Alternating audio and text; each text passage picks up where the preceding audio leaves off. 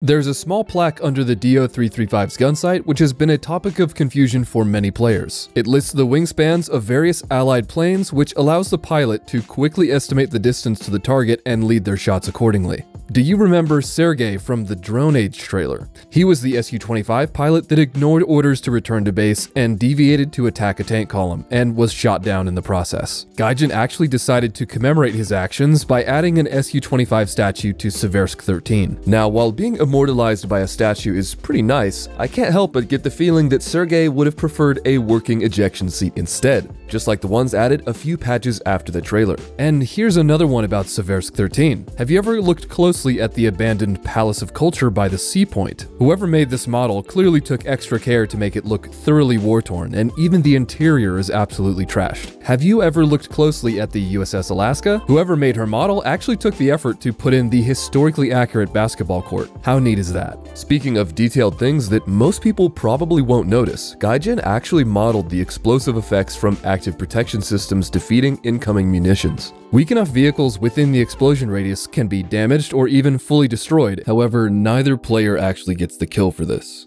Now, most of you may have already noticed that the crew replenishment modification for ground vehicles actually has a different icon for each nation, and that attention to small details also carries over to the loadout page for aircraft. Among many small details in here, unguided rockets have three separate icons for a single, small rocket pod, and large rocket pod. In a similar vein, the 20mm Hispano Mark 1s found on World War II British aircraft and the Allison-powered P-51 also have three different modification icons to show the various upgrade tiers. Now going back to tanks for a second, the amount of penetrated armor shown on AP shell icons actually differs based on their relative penetration power within the vehicle compared to its own shells.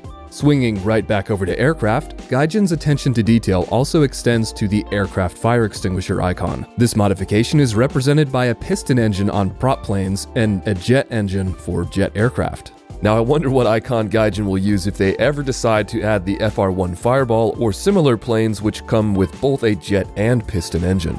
And while on the topic of modifications, did you know that the infrared spotlight on the T80U disappears when you install the thermal modification? Since it's no longer needed with thermals, it gets replaced by a couple of Kontakt-5 ERA blocks. According to the F-86 Saber's fuel consumption gauge, reducing your throttle from 100% to 95% will increase the rate of fuel consumption. At first, I thought it was a visual bug, but after some more extensive testing, it actually does increase fuel consumption. Leave a comment below if you know what's going on here. Now, you may have never noticed this small detail about stat card images. They actually have different filters applied to them based on the era that the vehicle was produced in. Essentially, if a vehicle was around during the time of black and white cameras, they have a black and white filter and some film grain applied. And eventually, we see a transition to color film and then over to digital for the most modern vehicles. And they even changed the border style too, with some rounded edges representing film and squared off edges for digital. And now, while on the topic of stat card images, most of them actually show the vehicle in their stock configuration, as seen here with the M1A2 SEP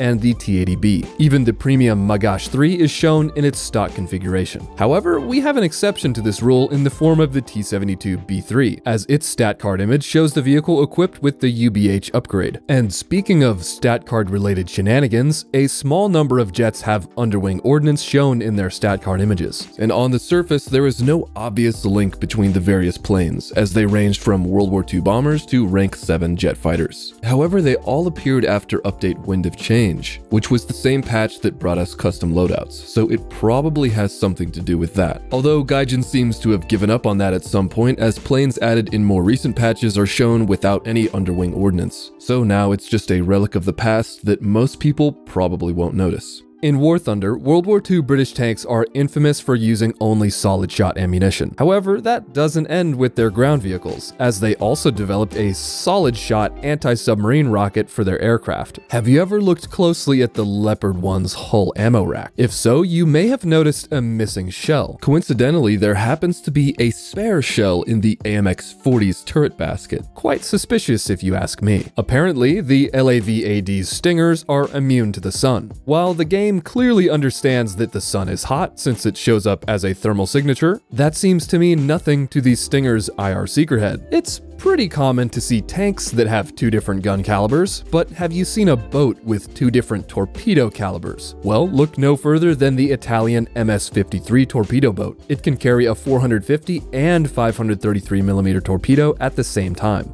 Previously, I mentioned that Sweden was the only nation without a Sherman, and the French tree has a similar unique quirk. It's the only tech tree to start from rank 1 and not feature a biplane. Speaking of the French tree, they're the only nation where their reserve tanks are not placed at the top of the tree. This is because the original reserves above them were removed due to being absolutely garbage. I think we can all agree that giving shells with 27mm of penetration to brand new players is pretty detrimental to their experience so that's probably why Gaijin made this change. In the same vein, the OS2U Kingfishers were also removed from the game. However, they have since been brought back and are unlockable once you own a rank 2 naval vessel. There's several high-ranking US tanks that share one unique feature. The M1A2 SEP M3A3 Bradley and M1128 Stryker come with driver thermals. While rather niche, the driver view can actually be quite useful on occasion. I can't see a single goddamn thing, and there's Rock's driver view coming in clutch for the first time in War Thunder history, and even better with thermals. On the island of the Japanese carrier IJN Shokaku, you will find a wooden notice board with various instructions written in Japanese. At first glance, this doesn't seem that out of place, but when translated, it's actually a pretty silly Easter egg, but I will let someone who is actually Japanese explain this one. Who says War Thunder is just about battles? In a nod to food lovers, Gaijin or more realistically their modelers, snap in a pumpkin soup recipe when they modeled the carrier. For an Easter egg, the instructions are surprisingly useful and will guide you through the soup making process